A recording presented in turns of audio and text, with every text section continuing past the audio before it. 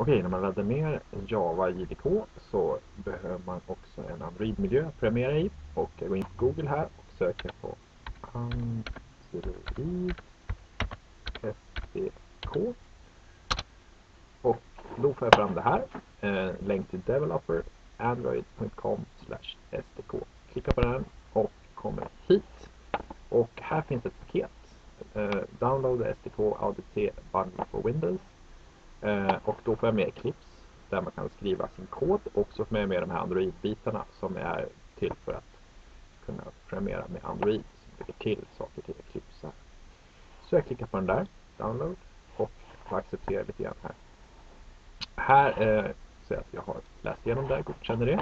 Här är frågan om man har typ 32-bitars eller 64-bitars dator. Om man inte vet så klickar man bara här, högerklickar på datorn och tar egenskaper. Och så då får man fram, eh, här står det att jag har 32-bitars operativ.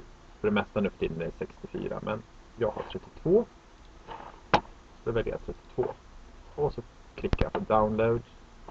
Och så tar jag, eh, sparar den någonstans. Jag sparar den här på D-kolon. Eh, jag tänker spara den på en ny mapp.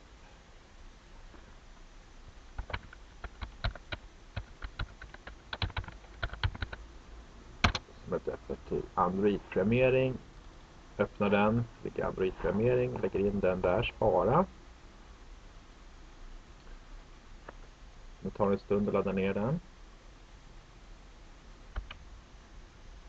När du sen är klar så är det bara att eh, öppna mapp.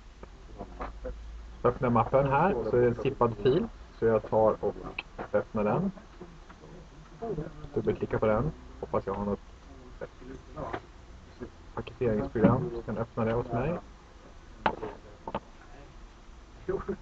Packa upp. Packar upp det här, samma mapp. Okej. Okay. Det tar också en liten stund. Så, när jag är klar med det så borde jag ha i den mappen då så borde jag ha en eh, mapp här. Den här. Och i den så finns både Eclipse och SDK, SDK Manager, SK. Eclipse är den som vi använder här och här är en, en eh, exe-fil så det är den som vi använder sen för att programmera. Jag tänkte bara visa ifall man befinner sig på det nät som jag befinner mig i Gävle kommun så måste man ställa in en sak till. Och det är här. Strax visa. Det är här man måste ställa in om man är på mitt nät. Så det är start. Dator. Vi letar reda på miljövariabeln. Högerklicka på den. Tar egenskaper. Avancerade systeminställningar miljarder, eh, miljövariabler och här måste vi lägga till en ny variabel, ny. Och den ska läggas till för att veta var någonstans som alla de här virtuella telefonerna som vi sedan använder kommer att lägga.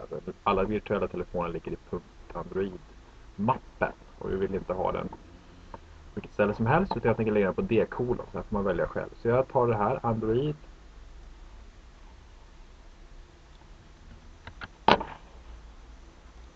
Lägger den här, variablerna. Och ett värde. Jag kan lägga den på D-kolon till exempel. Ta OK. Då kommer alla virtuella telefoner att läggas på D-kolon. Här får ni välja själv vad ni vill ha. Men jag rekommenderar det här om man är mitt nät. Eh, och det är bara för att vi har vissa begränsningar. Eh, och tar OK. Så. Och då har vi den där. Om man tittar på miljövariabler så finns den där. Android understreck SDK understreck home. Så. Eh, och okej. Okay. Sådär. Då borde man kunna köra igång. Så vad man gör då är att man helt enkelt går till där man har placerat sin, eh, jag placerar, placerar den här och startar igång eclipse.exe.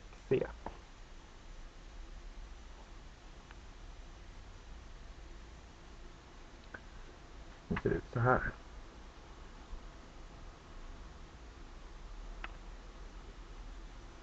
Här får man då i första gången välja var någonstans workspace ska vara. jag vill inte ta den där, utan jag tar browse. Och så tar jag den här datorn och så tar jag D-kolon. Och så lägger jag den där jag hade den här Android-premiering. Vill jag ha den här Android-premiering. Så är det vad ni vill. Men jag lägger den där. Okej. Okay. Då kommer alltid det här. Use this as the default. Så slipper jag få den här rutan stup i kvarten. Okej. Okay. Nu ser jag att jag har version 22 här. Det här uppdateras hela tiden. Det som jag gör nu kommer jag välja för 22. Så, det var första filmen här. Sen visar jag lite grann hur ni ställer in de här sakerna.